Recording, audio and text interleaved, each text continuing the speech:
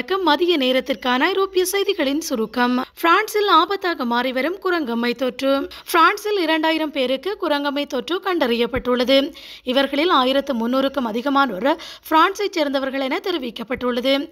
இந்த தொற்று ஆபத்தான தொற்று நோயாக மாறி வருவதாகவும் தொற்றுக்கு உள்ளானவர்களில் தொன்னூற்று ஆறு வீதமானவர்கள் ஆண்கள் எனவும் ஓரின சேர்க்கையாளர்கள் பலர் இதில் பாதிக்கப்பட்டுள்ளதாகவும் தெரிவிக்கப்பட்டுள்ளது. ரஷ்ய தீ விபத்தில் சிக்கி எட்டு பேர் பலி. ரஷ்ய தலைநகர் மாஸ்கோவில் உள்ள அடுக்குமாடி கட்டட விடுதியில் திடீரென ஏற்பட்டுள்ள தீ விபத்தில் எட்டு பேர் சம்பவ இடத்திலேயே தீயில் கருகி உயிரிழந்துள்ளனர். மேலும் படுகாயமடைந்த நான்கு பேர் மருத்துவமனையில் சிகிச்சை பெற்று வருகின்றனர். இதில் உயிரிழந்தவர்களில் ஐந்து பேர் மத்திய ஆசியாவைச் சேர்ந்தவர்கள் என்றும் தீ விபத்துக்கான காரணம் குறித்து விசாரணை நடாத்தி வருவதாகவும் போலீசார் தெரிவித்துள்ளனர். இங்கிலாந்தில் தபால் மூல வாக்கெடுப்பு அடுத்த வாரம் முதல் ஆரம்பம். இங்கிலாந்து பிரதமர் போரிஸ் ஜான்சன் பதவி விலகியதைத் தொடர்ந்து ஆளும் கன்சர்வேட்டிவ் கட்சித் தலைவர் மற்றும் பிரதமரை தேர்வு செய்யும் பணிகள் தீவிரமடைந்துள்ளது. இந்நிலையில் நாட்டின் புதிய பிரதமரை தேர்வு செய்வதற்கான தபால் மூல வாக்களிப்பு அடுத்த வாரம் ஆரம்பமாக உள்ளது. கன்சர்வேட்டிவ் கட்சியினை ஆதரித்த நான்காயிரத்து தொள்ளாயிரத்து நாற்பத்தி ஆறு பேரிடம் நடாத்தப்பட்ட ஆய்வில் மைனஸ் முப்பது மதிப்பெண்களை பெற்று ரிஷி சுனக் முன்னிலை பெற்றுள்ளார். ஜெர்மன் மக்களுக்கு விசேட அறிவிப்பு ஜெர்மனியின் பிரதான நகரங்கள் எரிபொருள் நெருக்கடியில் சிக்கியுள்ளது.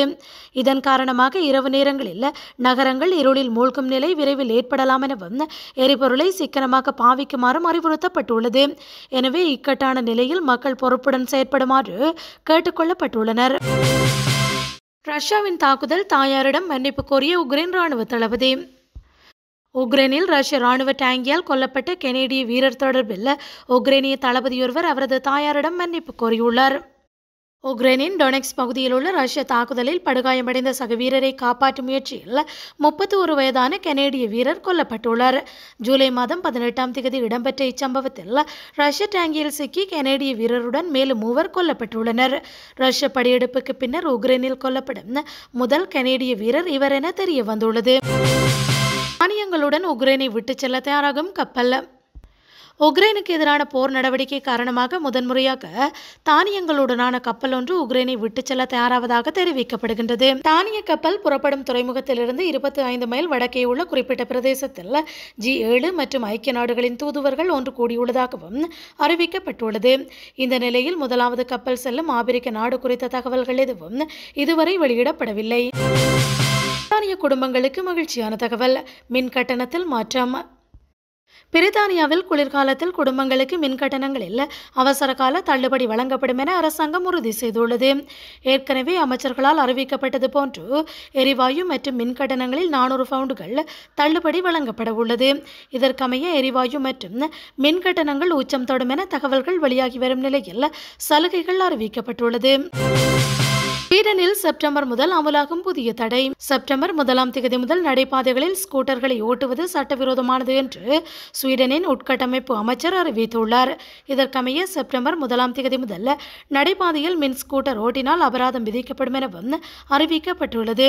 நடைபாதையில் ஏற்படும் அதிக வீதி விபத்துக்களை தடுக்கும் நோக்கில் இந்த திட்டம் நடைமுறைப்படுத்தப்பட்டுள்ளது. சுவிட்சர்லாந்தை மீண்டும் அச்சுறுத்தும் வெப்ப அலை. சுவிட்சர்லாந்தில் வெப்பம் மற்றும் வறண்ட வானிலை ஆகஸ்ட் மாதத்தில் மீண்டும் தொடரும் என எதிர்பார்க்கப்படுகின்றது.